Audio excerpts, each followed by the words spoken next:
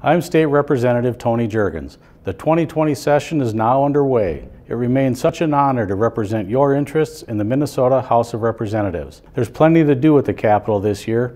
Even though a budget was approved last session, we now have a forecasted budget surplus of $1.5 billion. It's very clear to me that since we continue to see budget surplus after budget surplus, state government is collecting too much money from Minnesotans. That's why one of my top priorities this year will be to look at ways to give surplus funds back to the taxpayers, especially senior citizens.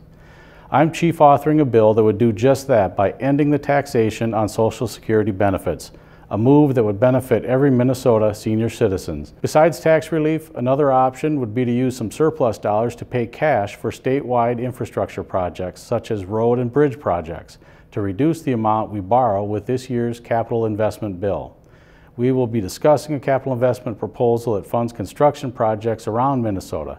Typically, the bonding year of the legislative biennium is the even-numbered year, so we expect that by the end of the session, a bonding bill will be in place. This is another area where road and bridge infrastructure could receive funding attention along with buildings in need of renovation on college campuses. I'm also hoping we can finally pass my bill that addresses lunch shaming in our schools.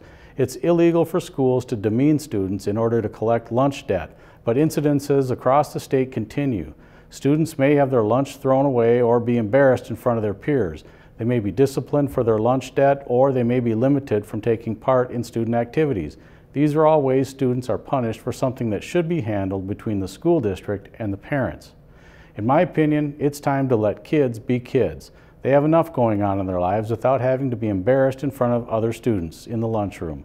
Wasting food and shaming students because of account balances is demeaning and goes against our values as Minnesotans, and my bill would work to ensure that doesn't happen again. As session moves forward, I would like to hear your thoughts on proposals making their way through the Minnesota House.